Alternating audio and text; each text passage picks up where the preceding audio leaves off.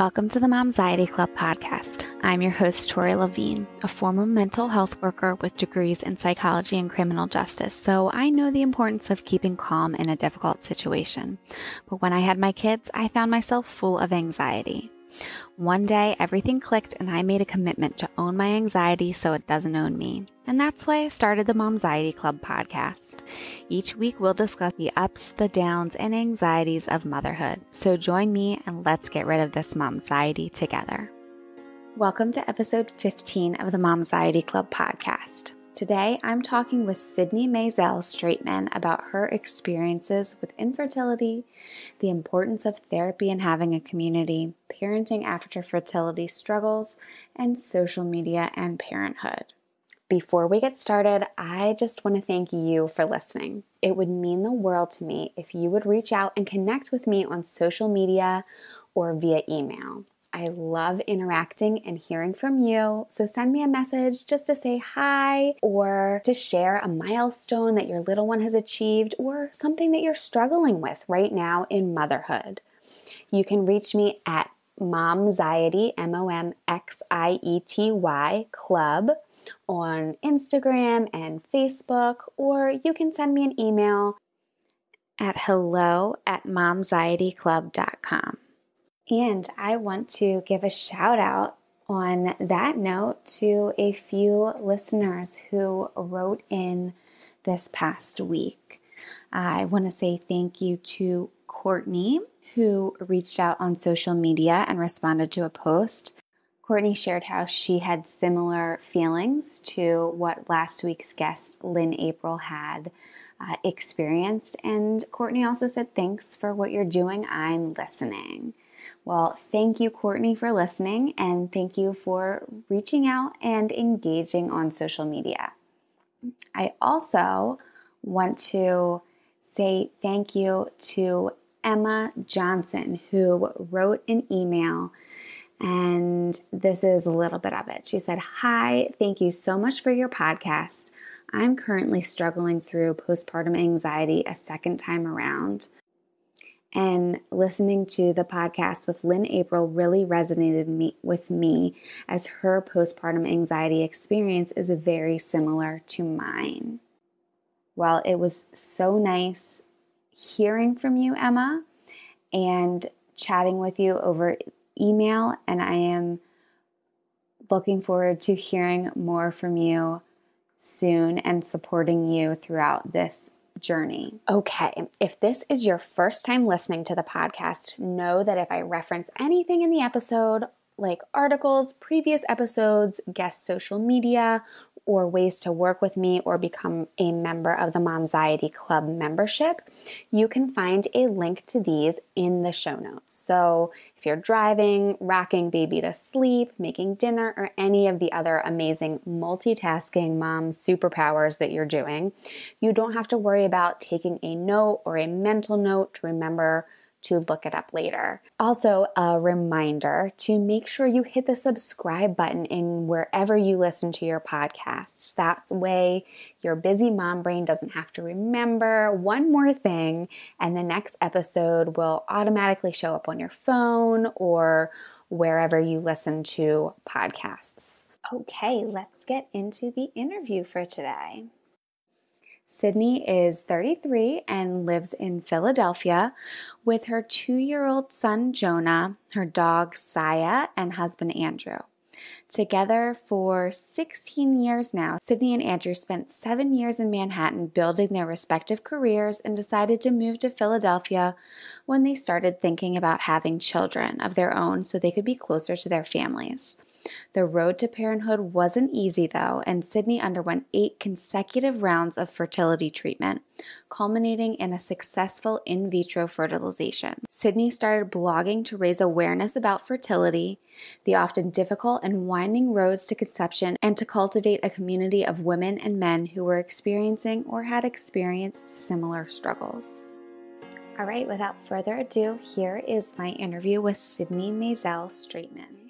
Hey, Sid, thank you for joining me here for the Momxiety Club podcast. I'm very excited for you to share your story. Thank you for having me. So, how are you doing? I'm good. I actually feel like you're asking me on a day where my mom's anxiety is my mom's anxiety is higher than normal. Um, but uh, you know, otherwise we're hanging in. It's crazy times, but um, I think um, we're all doing everything we can to just like keep our heads above water for the foreseeable future. That's right. That's right. Anything that we can do or that I can do to support you with relieving your mom's anxiety? Ooh, um, you know what? I actually just find that talking to other moms, to other working women is the greatest therapy that I've ever had and that I've been able to really cultivate for myself. Um, so, you know, I'm looking forward to this conversation because I think it's always really helpful to talk to other women in a similar um, similar age as I am in a similar stage of parenthood. So I think that this will be in- informational and cathartic and therapeutic. Right. Well, wonderful. That's the goal is to also help you as you are sharing and helping others. So cool.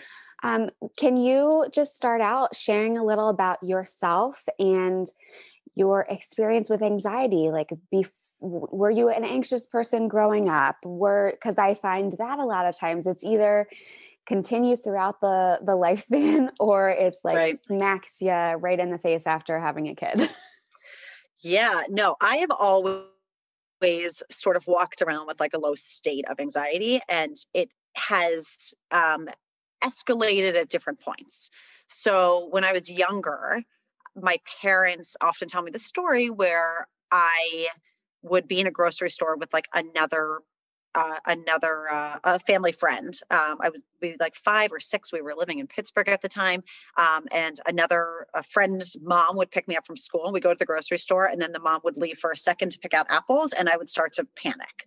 I just was afraid I was going to be left alone in you know the aisle, the the, the produce aisle that doesn't come from anything that happened to me as a child. I just always had, um, it's not like there was a triggering point, but I was always very anxious and nervous as a kid. I, I actually was diagnosed with separation anxiety disorder when I was eight or nine or so um, really had difficulty at school drop-offs just really upset that my parents you know weren't going to come back again um, not triggered by anything just always kind of had that. Um, and again like at different points it was escalated and more um, intense than other points. Um, but then you know i find that i was able to kind of have an outlet in school sports um, in achieving academically that was really you know important for me and that was an outlet for my anxiety sometimes um, and then i was really involved in my um, youth group um, where I end up meeting my husband today called the B'nai B'rith Youth Organization. And it's a um, Jewish leadership um, youth group. And I was really able to like hone in on those skills.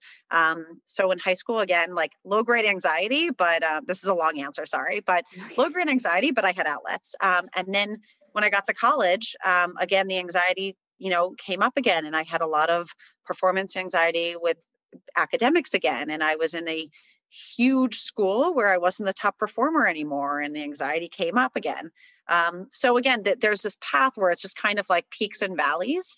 Um, and to kind of, you know, go back to your original question about mom's mom's like mom anxiety um, i again i was i was in a good place and then um, my husband and i started trying to conceive um, about three years into or two or three years into us being married we had been together for about 14 years at that point. Um, and then that road to conception was really really difficult um, i had a lot of anxiety about what I thought people might be perceiving about our path that we weren't getting pregnant right away, what that meant about my health. I was doing everything to be healthy. We went through eight months of fertility treatment and nothing worked until we ended up doing in vitro fertilization, which worked not even on the first time, but on the second time. And that fertility path for someone who was already anxious because of control issues was a the greatest test to your anxiety and your mental health that you could really encounter leading up to parenthood. Um, and then as a parent, I actually think that I have surprisingly been a less anxious parent because of those experiences.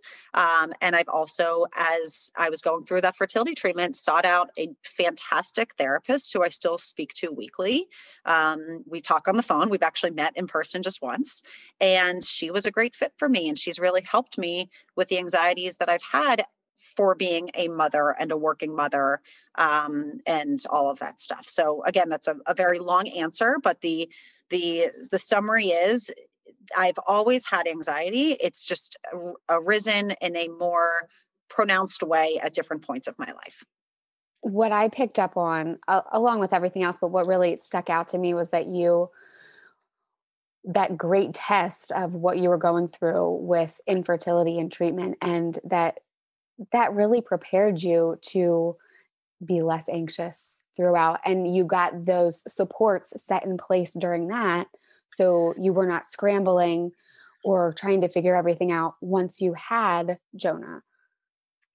I think that is the perfect way to put it. I was able to identify very early on that I was not in a good mental state to go through this the the ups and downs of trying to conceive and the emotional burden that hormonal therapy puts on you um, and I would say midway through the process, I was trying to be very strong initially. Um, I went back on a low dosage of anxiety medicine that I hadn't been on for years. I I just knew I was not able to handle all of that myself, primarily because the pressures I was putting on myself. Um, and then I right before we got pregnant with our son Jonah, um, I was going into IVF. Um, and that was when I found this incredible therapist who I has taught me so much about myself and has taught me so much about my anxiety and what anxiety is that it I realized it would have been foolish of me to not continue speaking with her mm-hmm. as I entered the journey of parenthood. So, when you were working with that therapist, and you had said you had outlets and ways to kind of cope throughout the peaks and valleys of your your entire life, did they help you identify new coping mechanisms? That's what we always taught kids when I was in mental health and everything. Did they help you identify new things that you were not aware of, or was it more just kind of reinforcing and supporting you to do what you needed to do? It's a great question. I would say both, and I can give two examples of each. One in terms of emotional coping, and the other in terms of, I would say, physical coping and outlets. Um, as many people who might be listening to this know anxiety is an overestimation of a threat in the future and an, an underestimation of your ability to handle that threat. I, I, I hope I got that right. Yes, that was great. Um, yeah. um, when and your mind wanders, right? It's often a snowball effect. Mm-hmm. You you think one thing and then it snowballs into another and into another, et cetera, et cetera. When I was going through fertility treatment, my mind was wandering in every which way, and I started to go down the path of how eh, you know will i have to find a surrogate how will i afford a surrogate um, you know what about if i don't want surrogacy? How do i feel about adoption? I think it's wonderful but i never thought about it for myself and and your mind wanders right? Mm-hmm. um, and then i would go to extremes like well if i have to pay for a surrogate that's like $50000 or $100000 how am i going to afford childcare right? All right. these things are just uh, ca- catastrophizing. But anyway the one thing that i that i um, started to do during fertility treatment, which was a recommendation, I think, from my therapist. But in order to make my mind not wander, I needed to do something that I had a goal in mind with my hands. So, what I actually started to do is I started to color this massive poster that now is in my son's room. And it was like basically a coloring book, but like a four foot by four foot poster. And I started to color this poster from the time that I was going through IVF, literally through the week before he was born. And it took a 10 months to do. And every time my mind started to wander, I picked up my coloring pencils and I started to color this poster because it was an outlet. And I was so focused on coloring that I wasn't letting my mind wander. So that is so your first the to answer your first question, that was a physical outlet for myself. Mm-hmm. One of the things that my therapist has taught me now is that none of my thoughts are based in reality. So I need to continue every time I have a thought to ground myself about what is actually realistic and what is not a catastrophic thought in my head. So, for example, when my son um, was now he's almost two and a half, but he has been in daycare since the time he was 14 weeks old. And there were a lot of kids in his class that had, and I'm blanking on the name right now, um, the pulmonary uh, R, RS, oh. RS, RSV, yes. I think. Yes, RSV. Right. Which is basically the uh, child starts gasping for air and it can be it can be very, very, very dangerous. He had a classmate who had RSV, and immediately in my mind, I went to Jonah's going to get RSV. This, this child is going to give Jonah RSV the fact of the matter was this child had some health issues. The child was born very premature. The child ended up being fine. But i started to get very concerned that just because child a had rsv that my six month old was also going to have rsv and we were going to be in the emergency room for six nights and so on and so forth. That was not based in reality. That was a thought that i had that i convinced myself was going to be true but in no way was that a thought that was based in reality whatsoever. And that is just a small example of what I've had to do to cope emotionally and mentally with the often very scary things about being a parent is that you might have a thought and you might have a threat come into your mind, but that threat is not actually a realistic thing that's going to happen.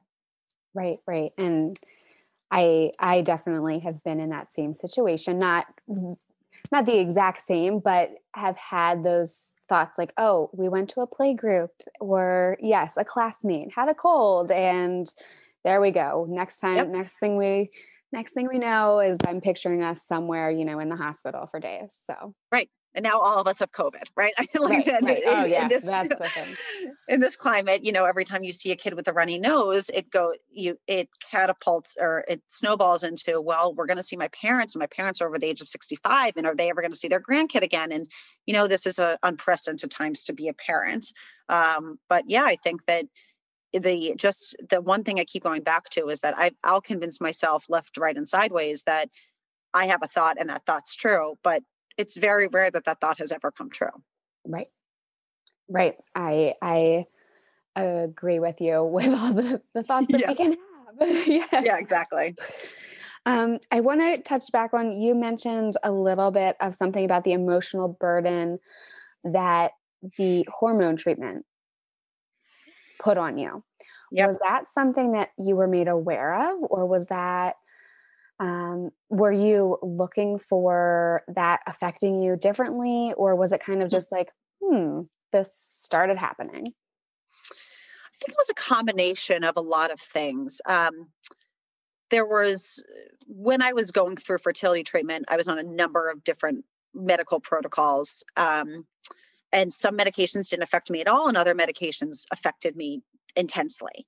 Um, I think I was probably informed by the doctor that I might have some side effects, but the situation that I was in at the time, which I will just briefly summarize of my husband and I left New York City to move to Philadelphia so we could start a family.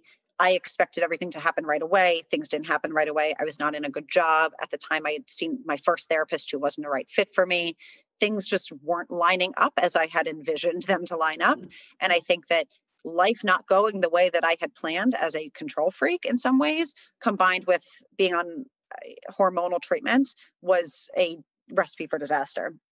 So, um, that being said, I think it was a combination of a lot of things. I know that this particular medication that I was on, it was progesterone, which is often needed to I guess the best way to put it is like maintain a pregnancy once mm-hmm. you are pregnant. Um, some people react also poorly to progesterone. It depends on the type of progesterone. I reacted really poorly to progesterone.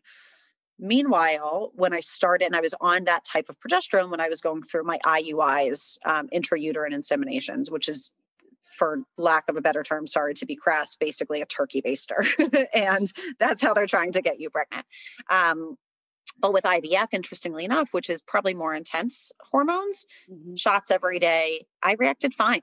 Um, I actually think that there was something that you're in control with IVF. You're doing something every single day to um, get the result that you want. You're going into the doctors every other day to be monitored, and you're able to see the shot that I put in my belly two nights ago has resulted in now a mature egg follicle, right? Whereas infertility, so much is up in the air, and you basically just, you know, go in for a, a quick procedure and you wait two weeks and you hope something happens, right? Mm-hmm. IVF is much more regimented and you are much more in control because I myself was giving myself my shots. So I think that that had something to do with like not reacting as poorly as I did to the me- other medication that I was on previously, if that makes sense. That that is that makes perfect sense and the I feel like we are very similar in our control and yes, I remember even just when we were uh you know thinking about and trying to get pregnant it was just that control aspect is like okay well now I have to wait and see and right. what's going on and that is very it's very easy to convince yourself that you are pregnant or that you are not pregnant mm-hmm.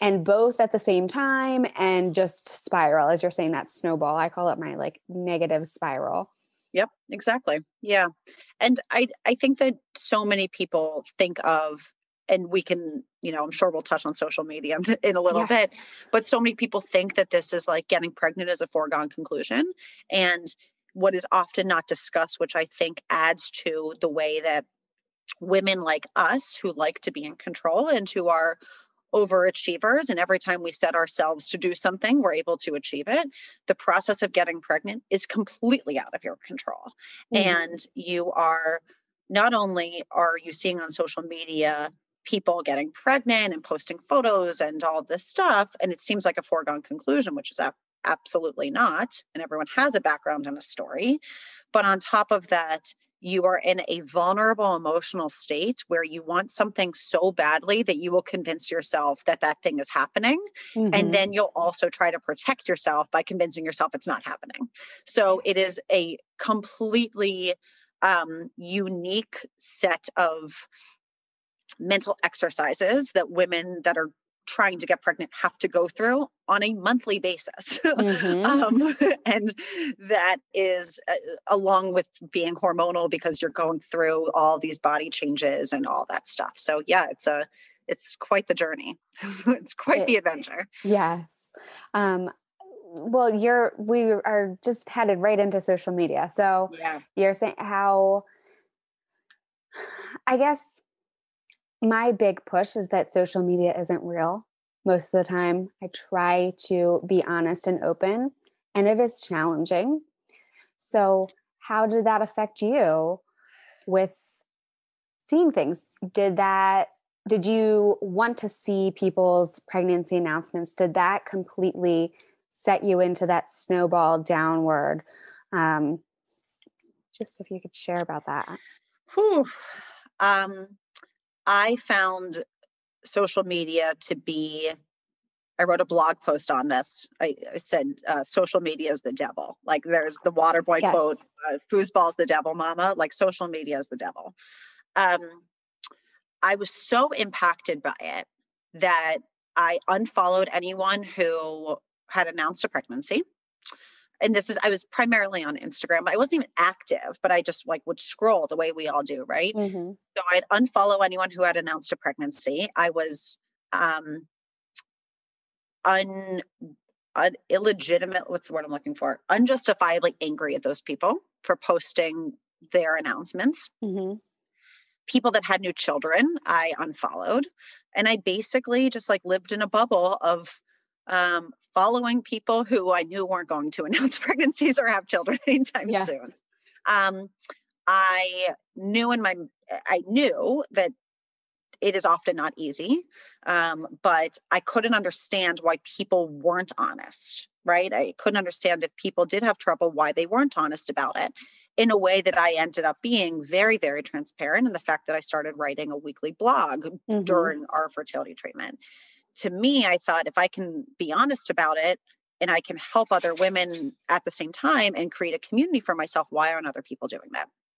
And what I've learned is that a lot of people, um, first of all, I think people post on social media because it's what everyone else does. And you, you know, you, you want to post pictures and and I feel this now. I think my son, as we all do, is the most beautiful human in the world. And I want to post pictures of him and our incredible family. I also still am very sensitive to what other people might see, right? And I mm-hmm. refrain from posting often. Um, I don't know where I was going with this. I, I think that the bottom line is that it is often hard to convince yourself that other people have had issues when all you see is the highlight reel.